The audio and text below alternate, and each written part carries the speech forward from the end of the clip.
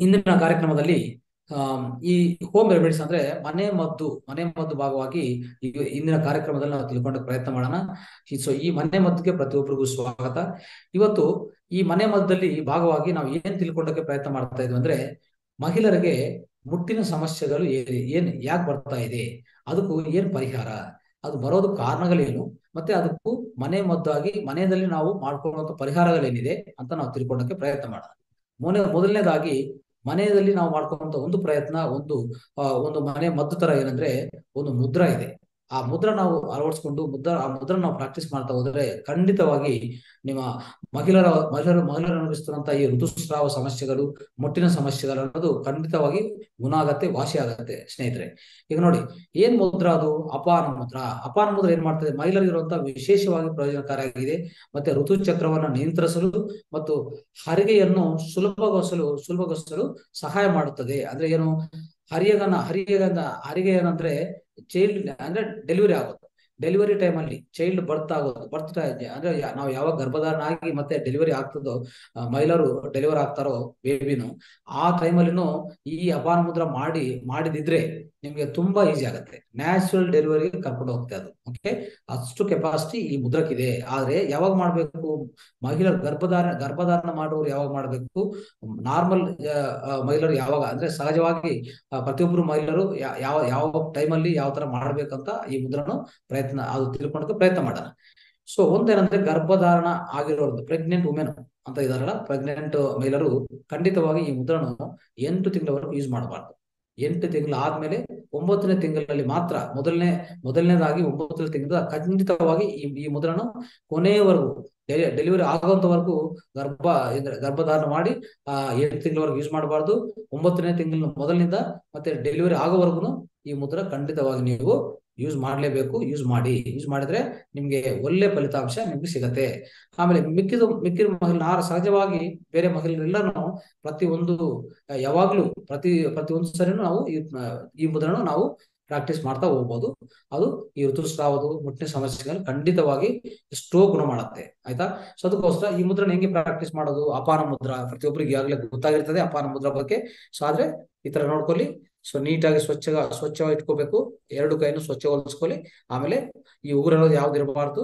ನಿಧಾನವಾಗಿ ಕೂತ್ಕೊಂಡು ದೀರ್ಘವಾಗಿ ಒಂದು ನಾಲ್ಕೈದು ಉಸಿರಾಟ ತಗೊಂಡಿದ ಮೇಲೆ ಈ ಈ ಮುದ್ರ ನೋಡ್ಕೊಳ್ಳಿ. ಇದು ಇಲ್ಲಿ ಈ ಎರಡು ಅಂದ್ರೆ ಮಧ್ಯ ಬೆರಳು ಮತ್ತೆ ಉಗ್ರ ಬೆರಳು ಇದೆಲ್ಲ ಮತ್ತೆ ಹೆಬ್ಬೆರಳು. ಇದೆಲ್ಲನು ಈ ತರ ಮಾಡ್ಕೊಳ್ಳಿ. ಅಷ್ಟೇ. ಈ ತರ ಮಾಡ್ಕೊಂಡು ಈ ಮಿಕ್ಕಿದ ಎರಡು ಬೆರಳನ್ನು ಸ್ಟ್ರೈಟ್ ಆಗಿ ಇಟ್ಕೋಬೇಕು. ಸೊ ಈ ತರ ಈ ತರ ಮಾಡ್ಕೊಂಡು ಈ ಮುದ್ರನು ನಾವು ತೊಡೆ ಮೇಲೆ ಇಟ್ಕೊಂಡು ನಾವು ಪ್ರಾಕ್ಟೀಸ್ ಮಾಡ್ತಾ ಹೋಗೋಣ. ಸೊ ಇದನ್ನೇ ನಾವು ಅಪಾನ ಮುದ್ರ ಅಂತ ಕರಿತೀವಿ. ಎಷ್ಟು ಮತ್ತು ಎಷ್ಟು ವರ್ಕ್ ಪ್ರಾಕ್ಟೀಸ್ ಮಾಡಬೇಕು? ಯಾವುದೇ ಋತುಸ್ರಾವ ಸಮಸ್ಯೆಗಳು, ಮುಟ್ಟಿನ ಸಮಸ್ಯೆಗಳಿದ್ರೆ ಖಂಡಿತವಾಗಿ ಅವರು ಮಹಿಳೆಯರು ಏನ್ ಮಾಡ್ಬೇಕು? ಐವತ್ತು ನಿಮಿಷ ಕಾಲ ಖಂಡಿತವಾಗಿ ಪ್ರಾಕ್ಟೀಸ್ ಮಾಡ್ಬೇಕು ಫ್ರೆಂಡ್ಸ್ ಸೊ ಇದು ವೆರಿ ಸೊ ಬಹಳ ಇಂಪಾರ್ಟೆಂಟ್ ಐವತ್ತು ನಿಮಿಷ, ಒಂದು ಸರಿ ಐವತ್ತು ನಿಮಿಷ. ಆದ್ರೆ ಎರಡು ಸರಿ, ದಿನಕ್ಕೆ ಎರಡು ಸರಿ ಮಾಡ್ಬೋದು, ಮೂರು ಸರಿ ಮಾಡ್ಬೋದು. ನಿಮ್ಗೆ ಟೈಮ್ ಇದ್ರೆ ಎಷ್ಟು ಸರಿನ ಮಾಡ್ಕೊಳ್ಳಿ ನೀವು ಮನೆಯಲ್ಲಿರುವಾಗ ಟೈಮ್ ಇದ್ರೆ ನೀವು ಬೆಳಗ್ಗೆ ಒಂದು ಐವತ್ತು ನಿಮಿಷ ಮಾಡ್ಕೊಳ್ಳಿ ಸೊ ಎಲ್ಲ ತಿಂಡಿ ಗಿಂಡಿ ಆದ್ಮೇಲೆ ನೀವು ಫ್ರೀ ಆಗ್ತಿರಲ್ಲ, ಆ ಒಂದು ಐದು, ಐವತ್ತು ನಿಮಿಷ ಮಾಡ್ಕೊಳ್ಳಿ ಆಮೇಲೆ ಈವ್ನಿಂಗ್ ಒಂದು ನಾಲ್ಕು ಗಂಟೆ, ಐದು ಗಂಟೆ ನೀವು ಫ್ರೀ ಇರುವ ಫ್ರೀ ಇರುವಾಗ ಮಕ್ಕಳೆಲ್ಲ ಶಾಲೆಯಿಂದ ಬಂದಿದ ಮೇಲೆ ಎಲ್ಲ ನೀವು ಫ್ರೀ ಆದ್ರೆ ಅವತ್ತೊಂದು ಐದು ನಿಮಿಷ, ಐವತ್ತು ನಿಮಿಷ ಮಾಡ್ಕೊಳ್ಳಿ ಕನಿಷ್ಠ ಪಕ್ಷ ಎರಡು ಸರಿ ಪ್ರತಿ ದಿನಕ್ಕೆ ನೀವು ಮಾಡ್ಕೊಂಡ್ರೆ ತುಂಬಾ ಫಲಿತ ಸಿಗುತ್ತೆ ನಿಮಗೆ. ಸೊ ಈ ಮುದ್ರಾ, ಅಪಾನ ಮುದ್ರ ಮಾಡಿದ ಮೇಲೆ ಮತ್ತೆ ನೆಕ್ಸ್ಟ್ ಮುದ್ರ ಖಂಡಿತವಾಗಿ ನಾವು ಪ್ರಾಣ ಮುದ್ರೆ ಮಾಡ್ಲೇಬೇಕು. ಯಾವ ಮುದ್ರೆ ಮಾಡಿ ಆ ಮುದ್ರೆ ಕರೆಕ್ಟ್ ಆಗಿ ಕೆಲಸ ಮಾಡ್ಬೇಕು ಅಂತಂದ್ರೆ ಆ ತದನಂತರ ಮಾಡ್ಬೇಕಂತ ಮುದ್ರ ಖಂಡಿತವಾಗಿ ಪ್ರಾಣ ಮುದ್ರ ಇರೇ ಇರ್ತದೆ. ಪ್ರಾಣ ಮುದ್ರ ಖಂಡಿತವಾಗಿ ಹದಿನೈದು ನಿಮಿಷ, ಒಂದು ಸರಿಗೆ ಹದಿನೈದು ನಿಮಿಷ. ಅಂದ್ರೆ ಐವತ್ತು ನಿಮಿಷ ಅಪಾನ ಮುದ್ರ ಮಾಡಿ, ಮತ್ತೆ ತಕ್ಷಣ ಹದಿನೈದು ನಿಮಿಷ ಈ ಪ್ರಾಣ ಮುದ್ರ ನೀವು ಯೂಸ್ ಮಾಡ್ತಾ ಹೋದ್ರೆ, ಇದು ಮಾಡ್ತಾ ಪ್ರಾಕ್ಟೀಸ್ ಮಾಡ್ತಾ ಹೋದ್ರೆ ಖಂಡಿತವಾಗಿ ಒಳ್ಳೆ ಗುಣ. ಅಂದ್ರೆ ಈ ಋತು ಸಮ, ಋತು ಸಮಸ್ಯೆಗಳನ್ನು ಋತುಸ್ರಾವ ಸಮಸ್ಯೆಗಳು, ಮುಟ್ಟಿನ ಸಮಸ್ಯೆಗಳು ಖಂಡಿತವಾಗಿ ಒಳ್ಳೆ ಪರಿಹಾರ ಸಿಗತ್ತೆ. ಸ್ನೇಹಿತರೆ, ದಯವಿಟ್ಟು ಇದು ಪಾಲನೆ ಮಾಡಿ. ಸೊ ಇದು ಒಂದು ಮನೆ ಮದ್ದಲ್ಲಿ ಭಾಗ. ಆಮೇಲೆ ಇನ್ನು ಏನಿದೆ? ಸೊ ಆದ್ರೆ ನೋಡಿ ಇಲ್ಲಿ ಮುಟ್ಟಿನ ಸಮಸ್ಯೆಗಳು ಯಾಕೆ ಬರುತ್ತೆ ಅಂತ ನಾವು ತಿಳ್ಕೊಳ್ಳೋಕೆ ಪ್ರಯತ್ನ ಮಾಡೋಣ. ಮೊದಲನೇದಾಗಿ ಮುಟ್ಟಿನ ಸಮಸ್ಯೆ ಬಗ್ಗೆ ಸ್ವಲ್ಪ ಸ್ವಲ್ಪ ಮಾಹಿತಿ ನಾವು ತಿಳ್ಕೊಳ್ಳೋಕೆ ಪ್ರಯತ್ನ ಮಾಡೋಣ. ಈ ಮಹಿಳೆಯರಿಗೆ ಮಾನಸಿಕ, ಈ ಮಾಸಿಕ ಪ್ರತಿ ತಿಂಗಳು ಬರುವಂತ ಮಾಸಿಕ ಋತುಚಕ್ರ ಅವರು ಆರೋಗ್ಯಕ್ಕೆ ಕನ್ನಡದಾಗಿದೆ ಅಂದ್ರೆ ಆರೋಗ್ಯ ಚೆನ್ನಾಗಿದೆಯಾ ಅಂತ ತಿಳ್ಕೊಂಡಕ್ಕೆ ಏನ್ ನೋಡ್ಬೇಕು ಅಂದ್ರೆ ಮಹಿಳೆಯರು ಮಹಿಳೆಯರು ಅವ್ರಿಗೆ ಬರ್ತಾ ಇರುವಂತ ಋತು, ಋತುಚಕ್ರ ಅನ್ನೋದು ಕರೆಕ್ಟ್ ಆಗಿದೆಯಾ?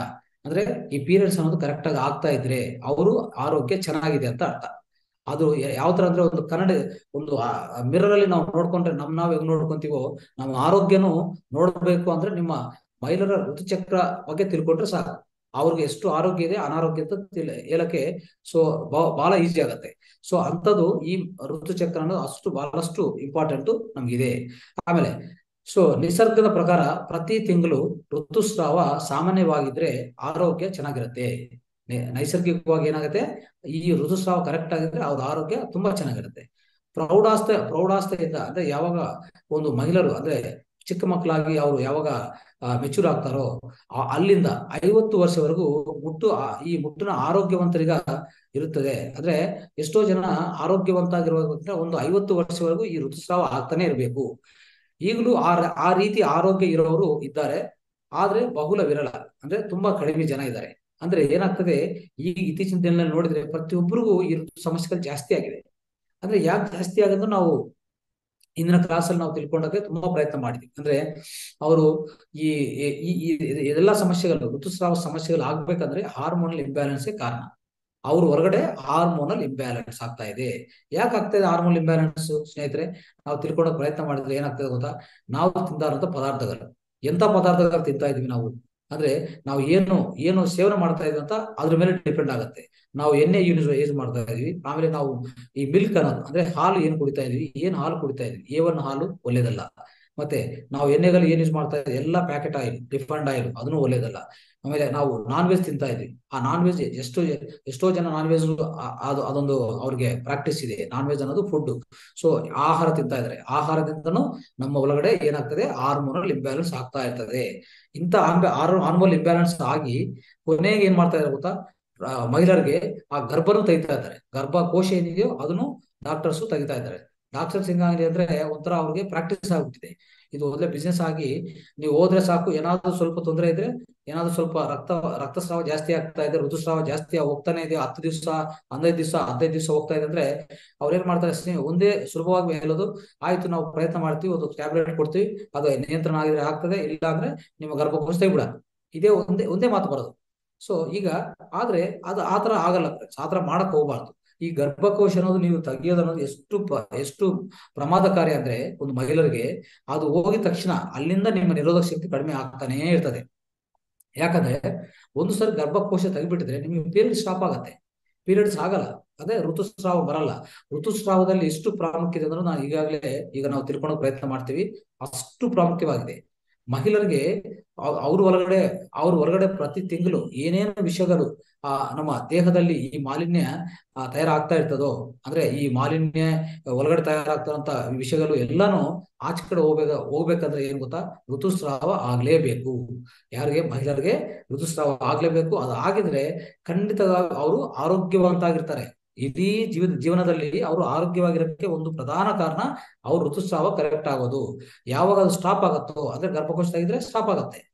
ನೋಡಿದ್ರ? ಸೊ ಇಷ್ಟು ಕನೆಕ್ಷನ್ ಇದೆ ಇದಕ್ಕೆಲ್ಲ. ಅಂದ್ರೆ ಡಾಕ್ಟರ್ಸ್ಗೆ ಅದೆಲ್ಲ ಬೇಕಾಗಿಲ್ಲ. ನಿಮ್ಮ ಆರೋಗ್ಯ ಬೇಕಾಗಿಲ್ಲ ಅವ್ರಿಗೆ. ನಿಮ್ಮಿಂದ ಹಣ ಬರ್ತದ ಇಲ್ಲ. ಅಷ್ಟೇ ಬೇಕಾಗಿದೆ ಅವ್ರಿಗೆ. ಅದಕ್ಕೋಸ್ಕರ ಏನ್ ಮಾಡ್ತಾರೆ? ಜಾಸ್ತಿ ಟೈಮ್ ತೆಗಿಯಕ್ಕೆ ಟ್ರೈ ಮಾಡ್ತಾರೆ. ಆದ್ರೆ ನೀವೇನ್ ಮಾಡ್ಬೇಕು ಪ್ರಯತ್ನಗಳು? ಅದು ತೆಗಿಬಾರ್ದು ಅಂತಂದ್ರೆ ನೀವು ಆಯು- ಆಯುರ್ವೇದ ಡಾಕ್ಟರ್ ಹತ್ರ ಹೋಗಿ. ನಾನು ಈಗಾಗಲೇ ಎಷ್ಟೋ ಪ್ರಯೋಗಗಳು ಮಾಡಿದೀವಿ ಆಲ್ರೆಡಿ ಈಗ ನಮ್ಮ ಸೋಲ್ ಕ್ಷೇತ್ರದಲ್ಲಿ ಆರೋಗ್ಯ, ನಮ್ಮ ಆರೋಗ್ಯ, ನಮ್ಮ ಆಯುರ್ವೇದ ಕ್ಲಿನಿಕ್ ಅಲ್ಲಿ ನಾವು ಮಾಡ್ತಕ್ಕಂಥ ಪ್ರಯೋಗಗಳು ಎಷ್ಟೋ ಮಾಡಿದ್ವಿ. ಏನಾಗ್ತದೆ ಅಂದ್ರೆ ಖಂಡಿತವಾಗಿ ಯಾರಿಗಾದ್ರೂ ಈ ಋತುಸ್ರಾವ ಹತ್ತು ದಿವಸ, ಹದಿನೈದು ದಿವಸ ಆಗ್ತದಲ್ಲ ಅವ್ರಿಗೂ ಗುಣ ಮಾಡಿದ್ವಿ.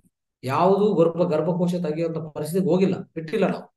ಅಂದ್ರೆ ಬೇಕಾಗಿಲ್ಲ, ಖಂಡಿತವಾಗಿ ಗುಣ ಆಗುತ್ತೆ ಫ್ರೆಂಡ್ಸ್ ನಮ್ಮ ಸಾಂಪ್ರದಾಯ ಪದ್ಧತಿಯಲ್ಲಿ ನಮ್ಮ ಆಹಾರ, ನಮ್ಮ ನಮ್ಮ ಅಂದ್ರೆ ನಮ್ಮ ಆಹಾರ ಪದ್ಧತಿಗಳು ಮತ್ತೆ ಹಲವ, ನಮ್ಮ ಆರೋಗ್ಯ ಸೇರಿ ಇದೆಲ್ಲ ನಡೆಸ ನಡವಡಿಸ್ಕೊಂತ ಬಂದ್ರೆ ಇದು, ಇದೆಲ್ಲ ನಡವಡಿಸ್ಕೊಂಡು ನಾವು ಬರ್ ಮತ್ತೆ ಬರ್ತಾ ಇದ್ರೆ ಆ ಜೊತೆಗೆ ಈ ಆಯುರ್ವೇದ ಅಂತ ಇದೆಯಲ್ಲ ಆಯುರ್ವೇದನು ನಮ್ಮ ಸನಾತನ ಪದ್ಧತಿಯೇ ಸೊ ಅದರಲ್ಲಿನೂ ತುಂಬಾ ಒಳ್ಳೆ ಒಳ್ಳೆ ಮೆಡಿಸನ್ಸ್ ಒಳ್ಳೆ ಒಳ್ಳೆ ನಮ್ಮ ಇದೆಲ್ಲ ವೈದ್ಯಕೀಯ ಪದ್ಧತಿಯಲ್ಲಿ ಪ್ರತಿಯೊಂದು ಒಳ್ಳೇದಿದೆ. ಅದರಲ್ಲಿನೂ ಒಳ್ಳೆ ಮೆಡಿಸಿನ್ ಸಿಗತ್ತೆ. ಸೊ ಇದೆಲ್ಲ ಮದ್ದು ಸಿಗತ್ತೆ. ಅದು ನಾವು ಅದು ನಾವು ಯೂಸ್ ಮಾಡ್ಕೊಂಡ್ರೆ ಸಾಕು. ಈ ಗರ್ಭಕೋಶ ವ್ಯಾಧಿಗಳು ಮತ್ತೆ ಗರ್ಭಕೋಶ ಋತುಸ್ರಾವ ಹೆಚ್ಚಾಗೋದು, ಗರ್ಭಸೋಗ, ಗರ್ಭಕೋಶ ತೆಗೆಯುವಂತ ಪರಿಸ್ಥಿತಿ ಯಾವುದು ಬರೋದೇ ಇಲ್ಲ. ಈಗಾಗಲೇ ನಾವು ಎಲ್ಲ ಎಷ್ಟೋ ಪ್ರೂವ್ ಮಾಡಿದ್ವಿ. ಸೊ ಅದಕ್ಕೋಸ್ಕರ ಹೇಳ್ತಾ ಇದ್ದೀವಿ ಈ ಹರಿವು ಅನ್ನೋದು ಬೇಕೇ ಬೇಕು ಫ್ರೆಂಡ್ಸ್ ಇಲ್ಲ ಅಂದ್ರೆ ಎಷ್ಟು ಜನ ಇದಕ್ಕಿಂತ ಒಂಥರ ಈ ಲೋನ್ ಆಗ್ತಾ ಇದ್ದಾರೆ ಎಷ್ಟು ಜನ ಈ ನೋವು ಅನುಭವಿಸ್ತಾ ಇದ್ದಾರೆ ನಿಜವಾಗಿ ತುಂಬಾ ಒಂದು ಭಯಂಕರ ಪರಿಸ್ಥಿತಿ ಈಗಾಗಲೇ ನಮ್ಮ ಸೊಸೈಟಿಯಲ್ಲಿ ಪ್ರತಿಯೊಬ್ಬರು ಅಲೋ ಅನುಭವಿಸ್ತಾ ಇದ್ದಾರೆ ಫ್ರೆಂಡ್ಸ್ ಅದು, ಇದು ಸ್ವಲ್ಪ ನಾವು ಈ ಮಾಹಿತಿ ಕೊಡೋಕೆ ಸೊ ಪ್ರಯತ್ನ ಮಾಡಿದ್ವಿ. ಆಮೇಲೆ ಒಂದು ತಿಂಗಳಲ್ಲಿ ಸೊ, ಸ್ತ್ರೀಯರ ದೇಹದಲ್ಲಿ ಉತ್ಪಾದನಾದಂತ ವಿಷಯವು ಬುಟ್ಟಿನ ಮೂಲಕ ಹೊರಗೆ ಹೋಗಿ ಅವರ ದೇಹ ಪವಿತ್ರಗೊಳಿಸದೆ, ಪವಿತ್ರವಾಗುತ್ತದೆ ಹಾಗೂ ರೋಗದಿಂದ ದೂರವಾಗುತ್ತದೆ. ಇದು ಪ್ರಧಾನ ಉದ್ದೇಶ. ಅಂದ್ರೆ ಇದು ಪ್ರಧಾನ, ಸೊ ನಮ್ಮ ಮಹಿಳೆಯ ಅವರ ಆರೋಗ್ಯ ಚೆನ್ನಾಗಿರ್ಬೇಕಂದ್ರೆ ಇದು ಪ್ರಧಾನವಾಗಿದೆ. ಅದಕ್ಕೋಸ್ಕರ ಇದು ಪ್ರತಿಯೊಬ್ಬರು ತಿಳ್ಕೊಂಡು, ಸೊ ಇದು ದಯವಿಟ್ಟು ಪಾಲನೆ ಮಾಡಕ್ಕೆ ಪ್ರಯತ್ನ ಮಾಡಿ.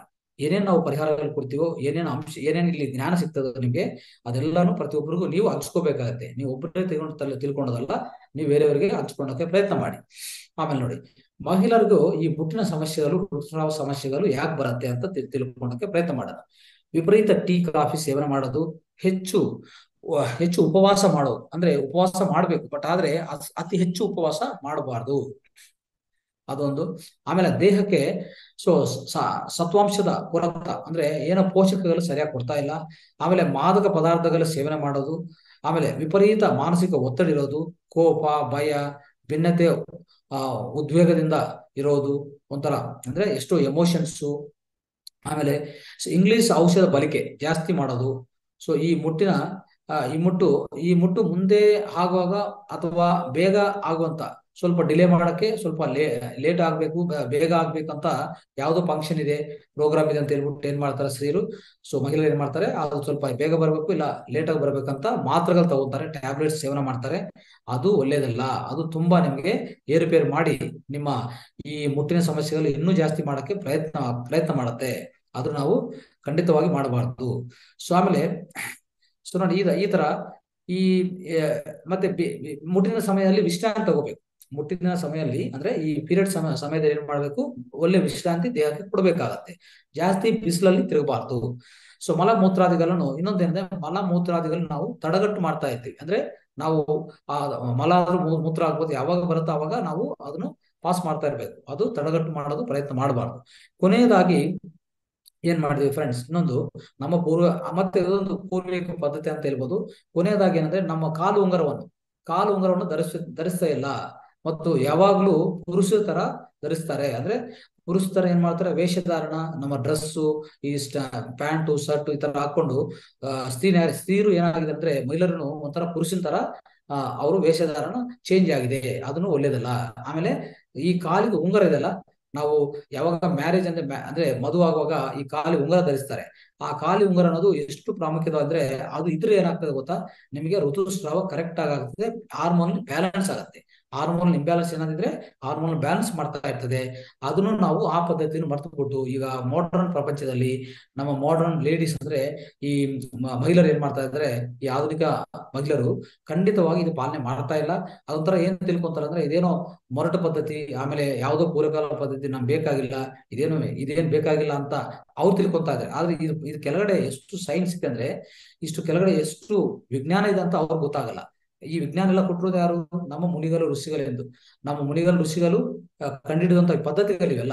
ಅವರು ದೊಡ್ಡ ವಿಜ್ಞಾನಿಗಳು. ಈ ಕರೆಂಟ್ ಈಗಿರುವಂತ ವಿಜ್ಞಾನಕ್ಕಿಂತ ಒಂದು ಎಷ್ಟೋ ಎಷ್ಟು ಎಷ್ಟೋ ರೆಟ್ಟು ಆ, ಅಷ್ಟು ವಿಜ್ಞಾ, ವಿಜ್ಞಾನಿಗಳಾಗಿರ್ತಾರೆ ನಮ್ಮ ಮುನಿಗಳು, ಋಷಿಗಳು. ಅದಕ್ಕೋಸ್ಕರ ಅವ್ರು ಏನೇ ಪದ್ಧತಿ, ನಮ್ಮ ಸನಾತನ ಧರ್ಮದಿಂದ, ನಮ್ಮ ವೇದಗಳು ಉಪನಿಷದಿಂದ ಬಂದಿರೋದು, ನಾವು ಯಾವಾಗ್ಲೂ ಕಮ್ಮಿ ಅಂಚನ ಮಾಡಬಾರ್ದು, ಯಾವುದು ಕಡಿಮೆ ಅಂತ ತಿಳ್ಕೋಬಾರ್ದು, ಇದೆಲ್ಲ ತುಂಬಾ ಉತ್ತಮವಾದಂತ ಜ್ಞಾನ ಅಂತ ನಾವು ತಿಳ್ಕೊಬೇಕು ಫ್ರೆಂಡ್ಸ್ ಓಕೆ ಸೊ ಇದನ್ನ ನೀವು ಪಾಲನೆ ಮಾಡಕ್ಕೆ ಪ್ರಯತ್ನ ಮಾಡಿ.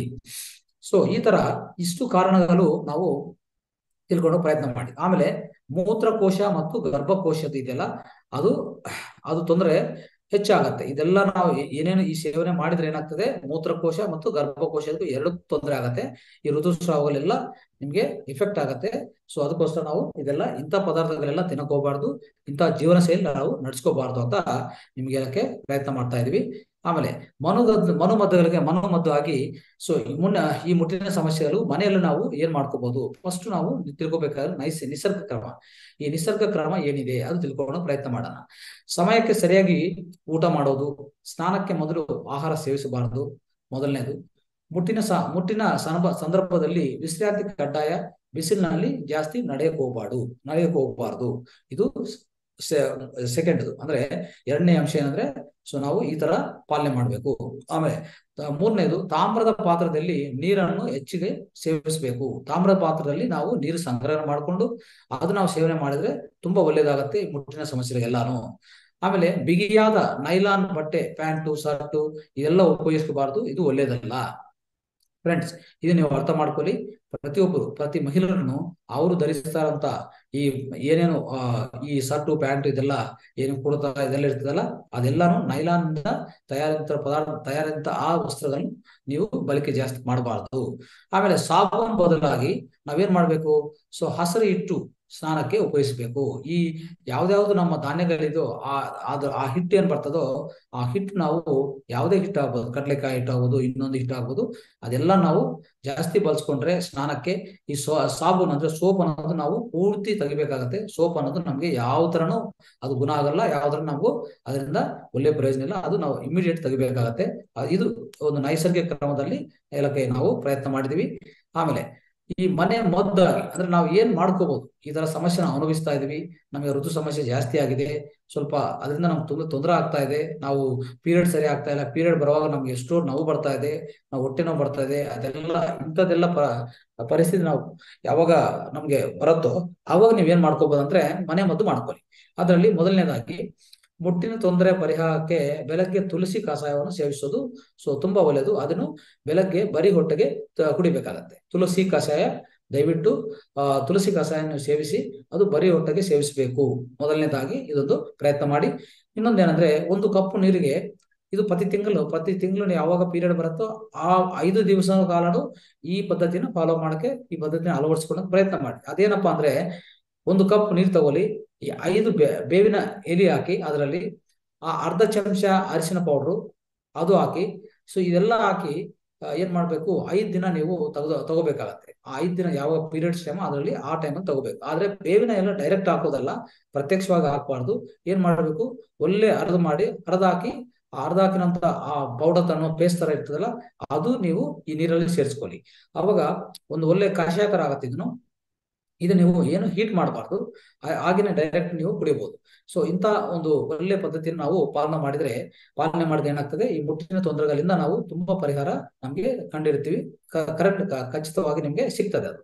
ಆಮೇಲೆ ಮುಟ್ಟ, ಮುಟ್ಟಾದಾಗ ಸುಸ್ತು ಆದರೆ ಒಂದು ಲೋಟೆ ಹಸು ಹಾಲು ಅಂದ್ರೆ ಎ ಟು ಹಾಲು. ಎ ಟು ಹಾಲು ಅಂದ್ರೆ ನಮ್ಮ ದೇಸಿ ಹಸು ಹಾಲಿದೆಲ್ಲ ಅದು ಒಂದ್ ಚಮಚೆ ಜೀನು ಮತ್ತೆ ಕಾಲು ಚಮಚೆ ಜಾಜಿಕಾಯ ಪುಡಿ ಹಾಕಿ ಸೇವಿಸಿದ್ರೆ ತುಂಬಾ ಒಳ್ಳೇದಾಗತ್ತೆ ಸ್ನೇಹಿತರೆ. ಇದನ್ನು ನೀವು ಪಾಲನೆ ಮಾಡಿ. ಆಮೇಲೆ ಮೂರನೇದು, ಮುಖದಲ್ಲಿ ಕೂದಲು ಈ ತರ, ಅಂದ್ರೆ ಹಾರ್ಮೋನ್ ಇಂಬ್ಯಾಲೆನ್ಸ್ ಆದ್ರೆ ಏನಾಗ್ತದೆ? ಮಹಿಳೆಯರಿಗೆ ಮುಖ ಮೇಲೆ ಕೂದಲು ಬರುತ್ತೆ. ಈ ಹೇರ್ ಬರುತ್ತೆ ಮುಖ ಮೇಲೆ. ಸೊ ಆತರ ಬರುವಾಗ ಆತರ ಏನಾದ್ರು ಬೆಳೆದಿದ್ರೆ ದಿನಾಲ್ ರಾತ್ರಿ ಏನ್ ಮಾಡ್ಬೇಕಂದ್ರೆ ಮಲಗುವಾಗ ಮುಖಕ್ಕೆ ಕಸ್ತೂರಿ ಅರ್ಶವನ್ನು ಗೋಮೂತ್ರದಲ್ಲಿ ಕಲಿಸಿ, ಲೇಪನೆ ಮಾಡ್ಕೊಂಡಿದ್ರೆ ಬೆಳಗ್ಗೆ ಆ- ಮಾಡ್ಕೊಂಡು ನೈಟ್ ಆತರ ಮಾಡ್ಕೊಂಡು ಇಟ್ಕೊಂಡು ಬೆಳಗ್ಗೆ ಎದ್ದ ತಕ್ಷಣ ಏನ್ ಮಾಡ್ಬೇಕಂದ್ರೆ ಹಸಿರು ಹಿಟ್ಟಿನಿಂದ ತುಲಿಬೇಕಾಗತ್ತೆ ಹಸಿರು ಹಿಟ್ಟು ಮಾತ್ರ ಯೂಸ್ ಮಾಡಿ ನೀವು ತುಲಿಬೇಕು ಯಾವುದೇ ಸೋಪ್ ಯೂಸ್ ಮಾಡಬಾರ್ದು. ಸೊ ಈ ತರ ಯಾರಿಗೂ ಕೂದಲೆ ಬಂದಿರೋರು ಈ ತರ ಸೊ ಮಾಡ್ಕೊಂಡ್ರೆ ಅದು ತುಂಬಾ ಒಳ್ಳೇದಾಗತ್ತೆ. ಕಸ್ತೂರಿ ಅರಿಶಿನ ಅನ್ನೋದು ವನಸ್ಪತಿ ಅಂಗಡಿಗಳಲ್ಲಿ ಲಭ್ಯವಾಗುತ್ತೆ. ಅಂದ್ರೆ ನಮ್ಮ ಆಯುರ್ವೇದ ಆದಿಯಲ್ಲಿ ಸಿಗತ್ತೆ ಕಸ್ತೂರಿ ಅರಿಶಿನ ಅನ್ನೋದು. ಅದು ನೀವು ಸೊ ತಗೋಬಹುದು ಆಮೇಲೆ ವಾರಕ್ಕೊಮ್ಮೆ ಸರಿ ಸಾಸ್ವಿ ಎಣ್ಣೆ ಮಸಾಜ್ ಮಾಡ್ಕೋಬೇಕು. ಮಹಿಳೆಯರು ಏನ್ ಮಾಡ್ಬೇಕು? ಸ್ವ, ವಾರಕ್ಕೊಂದ್ಸರಿ ಸಾಸ್ವಿ ಎಣ್ಣೆ ಅಂತ ಇದೆ. ಅದನ್ನ ನಾವು ಅದು ಬಳಸ್ಕೋಬೇಕಾಗತ್ತೆ. ಅದನ್ನ ನಾವು ಮಸಾಜ್ ಮಾಡ್ಕೊಂಡ್ರೆ ತುಂಬಾ ಒಳ್ಳೇದಾಗತ್ತೆ. ಋತು ಸಮಸ್ಯೆಯಿಂದ. ಸೊ ಎಲ್ಲಾ ಚಿಕಿತ್ಸೆಯನ್ನು ನೀವು ಕಾಯಿಲೆ ಗುಣವಾಗೋವರೆಗೂ ನೀವು ನಡ್ಸ್ಕೋಬಹುದು ಅಂತ ಹೇಳಕ್ಕೆ ಇಷ್ಟಪಡ್ತೀವಿ. ಸೊ ಇದು ಮನೆ ಮದ್ದಾಗಿ ನಾವು ಪಾಲನೆ ಮಾಡ್ಬೇಕಾದಂಥದ್ದು. ಯಾವ್ದಕ್ಕೆ? ಋತುಸ್ರಾವ ಋತು- ಋತುಸ್ರಾವ ಸಮಸ್ಯೆಗಳಿಗೆ.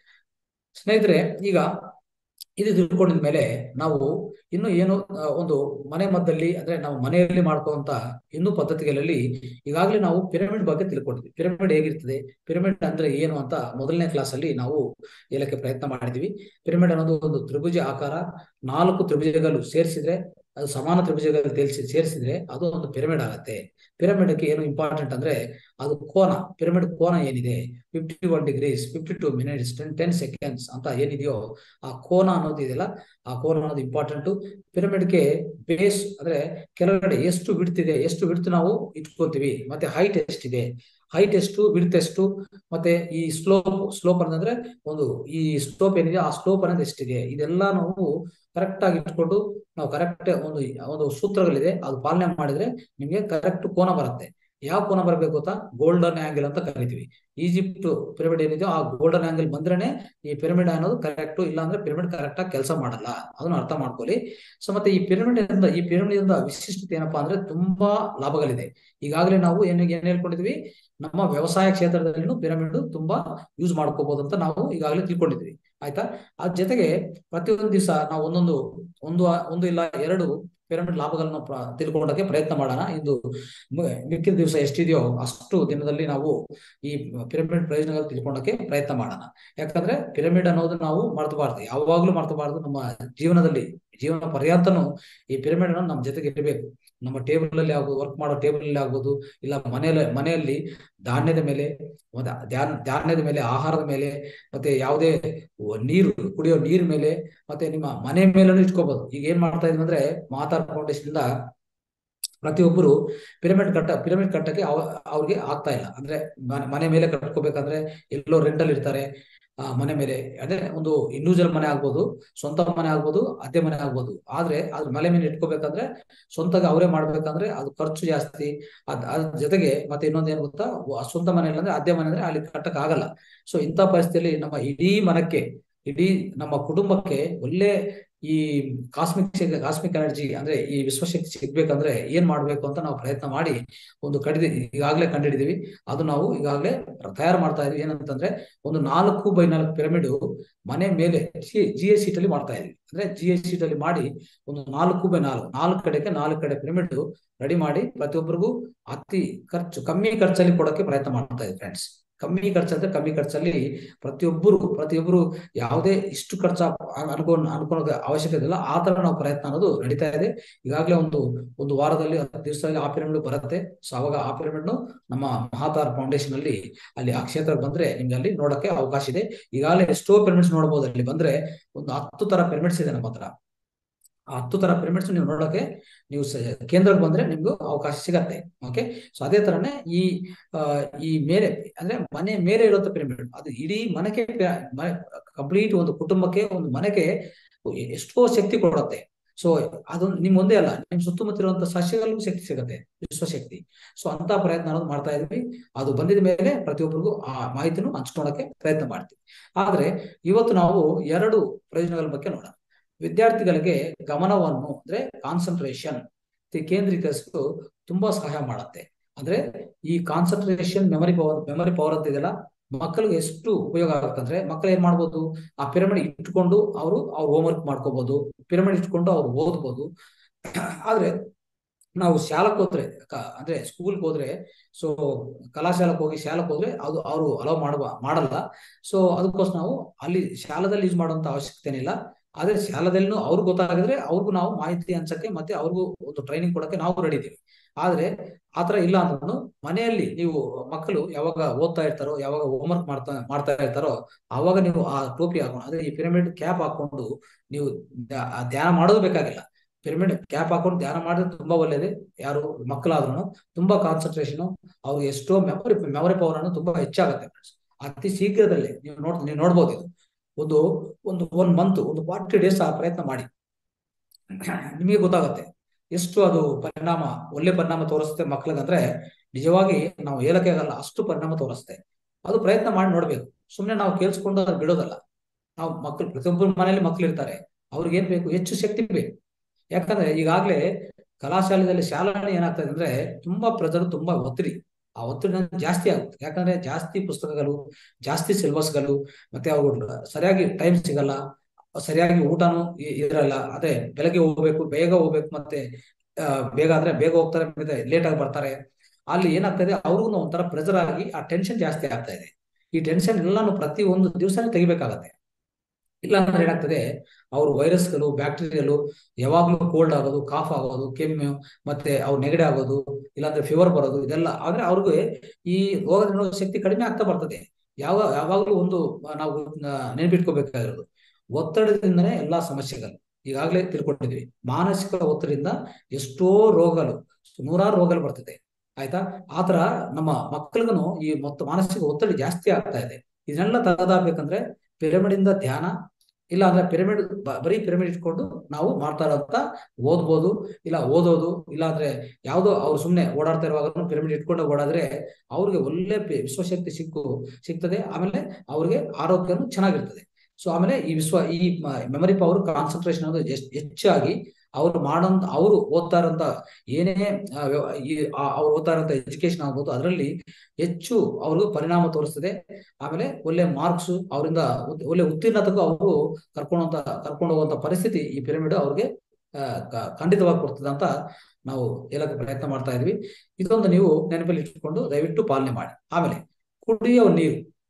ಅಂದ್ರೆ ಕುಡಿಯೋ ನೀರು ಮೇಲೆ ಖಂಡಿತವಾಗಿ ಅದು ಶಕ್ತಿವಂತ ಆಗ್ಬೇಕಂದ್ರೆ ಪ್ರತಿಯೊಬ್ಬರು ಏನ್ ಮಾಡ್ಬೇಕಂದ್ರೆ ನಾವು ಈಗಾಗಲೇ ತಿಳ್ಕೊಂಡಿದ್ವಿ, ಕುಡಿಯೋ ನೀರು ಯಾವ ತರ ಇರ್ತದೆ, ಯಾವ ತರ ಕುಡಿಬೇಕು ಅಂತಾನು ನಾವು ಒಂದು ವರ್ಕ್ಶಾಪ್ ಅಂದ್ರೆ ರೀಸೆಂಟ್ ಇತ್ತೀಚಿನ ದಿನದಲ್ಲಿ ಅಂದ್ರೆ ಮುಂದಿನ ಕ್ಲಾಸ್ ಅಲ್ಲಿ ನಾವು ತಿಳ್ಕೊಳಕ್ಕೆ ಎಷ್ಟೋ ಕೂಲಂಕುಶವಾಗಿ ಪ್ರಯತ್ನ ಮಾಡಿದ್ವಿ.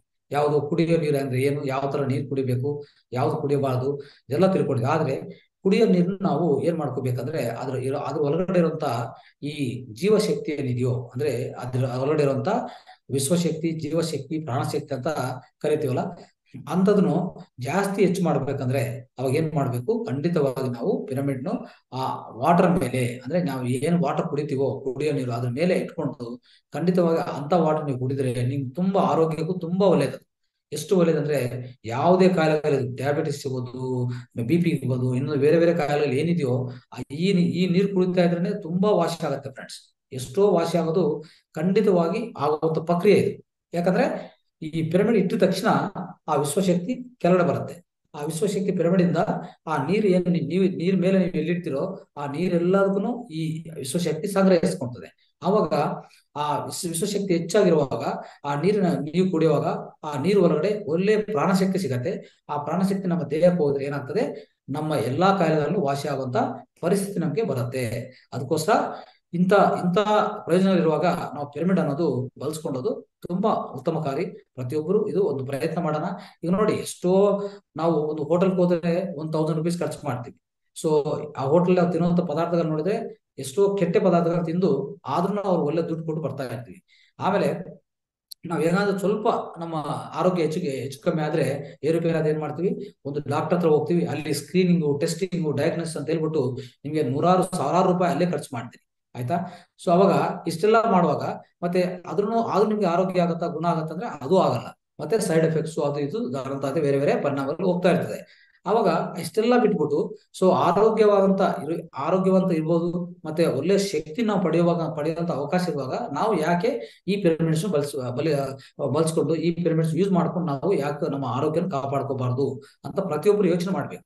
ಅದು ಬಿಟ್ಟು ಯಾವುದೋ ಅನ್ನೆಸರಿ ಥಿಂಗ್ಸ್ ಅಂದ್ರೆ ಯಾವುದು ಉಪಯೋಗ ಬರಂತ ವಿಷಯಗಳಿಗೂ ನಾವು ದುಡ್ಡು ಖರ್ಚು ಮಾಡೋದಕ್ಕಿಂತ ಇದಕ್ಕೂ ನಾವು ಖಂಡಿತವಾಗಿ ಪಿರಮಿಡ್ಸ್ ಬಳಸ್ಕೊಳ್ಳೋದು ತುಂಬಾ ಒಳ್ಳೆಯದು ನಾವು ಆ ಪ್ರಯತ್ನ ಮಾಡಕ್ಕೆ ಪ್ರತಿಯೊಬ್ಬರು ಸೊ ನೀವು ಮುಂದುವರಿಬಹುದು ಅಂತ ಹೇಳ್ತಾ ಈ ಪಿರಮಿಡ್ ಪ್ರಯೋಜನಗಳನ್ನ ನಾವು ನೋಡಿದೀವಿ. ಈಗ ಪಿರಮಿಡ್ ಪ್ರಯೋಜನಗಳು ಏನಂತ ನಾವು ನೋಡಕ್ಕೆ ಪ್ರಯತ್ನ ಮಾಡಿದ್ವಿ. ಆದ್ರೆ ಸೊ ಫ್ರೆಂಡ್ಸ್ ಇದರ ಹಿಂದಿನ ಕಾರ್ಯಕ್ರಮದಲ್ಲಿ ಮನಸ್ಸಿನ ಆರೋಗ್ಯಕ್ಕಾಗಿ ಏನು ಮನ, ಮನೆ ಮದ್ದಿದೆ ಪ್ರತಿಯೊಂದು ದಿವಸ ನಾವು ಓದ್ತಾನೆ ಹೋಗ್ತಾ ಇದೀವಿ. ಪ್ರತಿಯೊಂದು ದಿವಸ ಮನೆ ಮದ್ದುಗಾಗಿ, ಮನೆ ಮದ್ದು ಮನಸ್ಸಿಗಾಗಿ ಮನಸ್ಸಿಗಾಗಿ ಮನೆ ಮದ್ದು ಏನಿದೆ ನೋಡೋಣ. ಪ್ರತಿ, ಒಂದನೇದು, ಸೊ ನಾವು ನೋವುಗಳಿಗೆಲ್ಲ ಅತಿ ನೋವು, ಅತಿ ಹೆಚ್ಚು ನೋವು ಏನಂದ್ರೆ ಹರಿಗ ನೋವು. ಹಾಗೆ ನಾವು ನೋ, ನಮ್ಗೆಲ್ಲರಿಗೂ ವಿವಿಧ ನೋವುಗಳು ಬರ್ತಾ ಇರ್ತದೆ ದೇಹದಲ್ಲಿ, ಅಲ್ವಾ? ಸೊ ಇದರಲ್ಲಿ ಅತಿ ಹೆಚ್ಚು ನೋವೇನಂದ್ರೆ ಹರಿಗೆ ನೋವು ಅಂದ್ರೆ ಲೇಬರ್ ಪೇನ್ಸ್ ಒಂದು ಮಹಿಳಾ ಯಾವಾಗ ಬೇಬಿನ ಡೆಲಿವರಿ ಮಾಡ್ತಾ ಇರ್ತದೋ ಆ ಟೈಮಲ್ಲಿ ಬರುವಂತ ಆ ಪೇನ್ಸ್ ಇದೆಲ್ಲ ಆ ನೋವೇನಿದೆಯೋ ಅದು ಅತಿ ಹೆಚ್ಚು ನೋವು ಅಂತ ಹೇಳ್ಬೋದು. ಅದನ್ನೇ ಹರಿಗೆ ನೋವು ಅಂತ ಹೇಳ್ತೀವಿ. ಓಕೆ ಮತ್ತೆ ಭಯದಲ್ಲಿ ಸೊ ಬಹು ಭಯ ಅಂದ್ರೆ ಹೆಚ್ಚು ಭಯ ಏನಪ್ಪ ಅಂದ್ರೆ ಮರಣದ ಭಯ.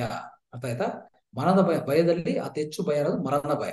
ಆದ್ರೆ ಮರಣದ ಭಯನೂ ನಾವು ಜಯಿಸಬಹುದು ಯಾವ ತರ ಅಂದ್ರೆ ನಾವು ಧ್ಯಾನ ಮಾಡ್ತಾ ಹೋದ್ರೆ, ನಾವು ಧ್ಯಾನ ಮಾಡ್ತಾ ಹೋದ್ರೆ ಏನಾಗ್ತದೆ? ನಾವು ಯಾರಂತ ತಿಳ್ಕೊಂಡಕ್ಕೆ ಪ್ರಯತ್ನ ಮಾಡ್ತೀವಿ.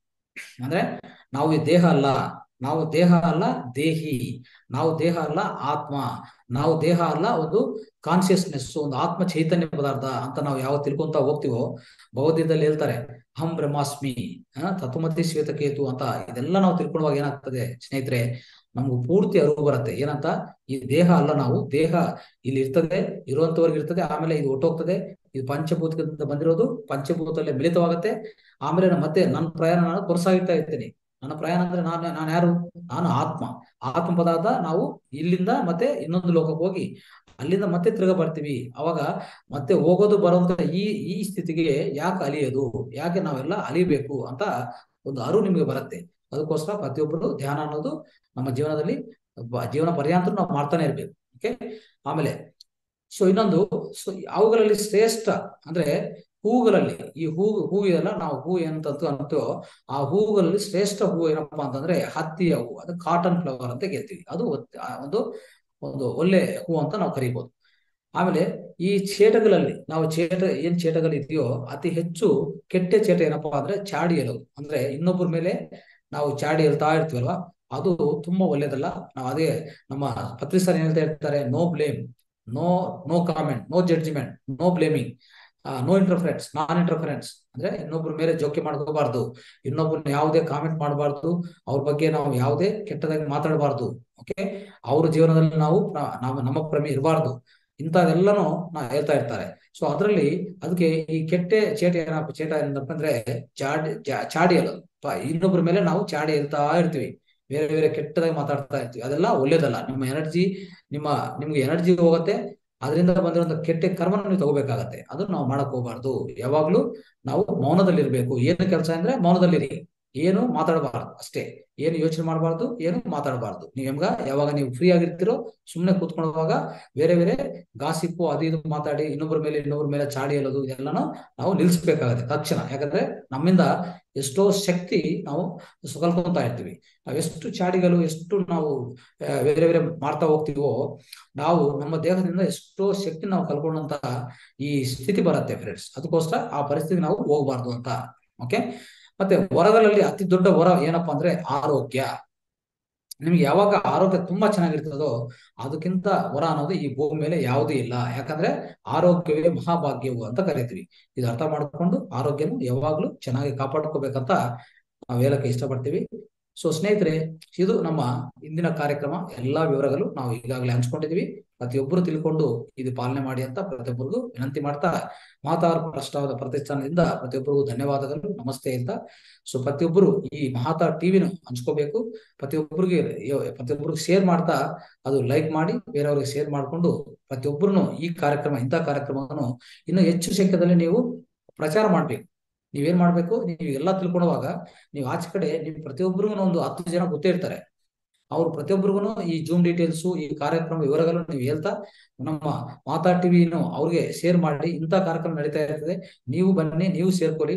ನೀವು ಇದರಿಂದ ಪ್ರತಿಫಲ, ಇದು ಇದರಿಂದ ಫಲಿತಗಳು ತಗೊಳ್ಳಿ ಅಂತ ಪ್ರತಿಯೊಬ್ಬರು ನೀವೇ ಅವ್ರಿಗೂ ಒಳ್ಳೆ ಮೋಟಿವೇಶನ್ ಆಗಿ ಅವ್ರಿಗೆಲ್ಲ ಹೇಳಿ ಅಂತ ಒಂದು ಪ್ರತಿಯೊಬ್ಬರು ಒಂದು ಹತ್ತು ಜನ ಕರ್ಕೊಂಡು ಬಂದು ಈ ಇಂಥ ಕಾರ್ಯಕ್ರಮಗಳಿಗೆ ಸೇರಿಸ್ಬೇಕು. ನೆಕ್ಸ್ಟ್ ಕಾರ್ಯಕ್ರಮ ಶುರು ಆಗುವವರೆಗೂ ವೆಯ್ಟ್ ಮಾಡೋದನ್ನು ಬೇಕಾಗಿಲ್ಲ ಸ್ನೇಹಿತರೆ. ಈಗಾಗಲೇ ನೀವು ಇಷ್ಟು ಇಷ್ಟು ಬೆನಿಫಿಟ್ಸ್ ನೀವು ಪಡೆಯುವಾಗ ಏನ್ ಮಾಡಬೇಕು? ಈಗಾಗಲೇ ನೀವು ಪ್ರಯತ್ನ ಮಾಡಿ ಇನ್ನೊಂದು ಹತ್ತು ಜನಕ್ಕೆ, ಐದು ಜನಕ್ಕೆ ಹೇಳಿ ಅವ್ರನ್ನು ಈ ಕಾರ್ಯಕ್ರಮದಲ್ಲಿ ಭಾಗವಾಗಕ್ಕೆ ನೀವು ಪ್ರತಿ, ಪ್ರಚಾರ ಮಾಡ್ತೀರಂತ ಪ್ರತಿಯೊಬ್ಬರಿಗೂ ವಿನಂತಿ ಮಾಡ್ತಾ ಇದೀವಿ ಸೊ ದಯವಿಟ್ಟು ಅದು ಪ್ರಯತ್ನ ಮಾಡಿ.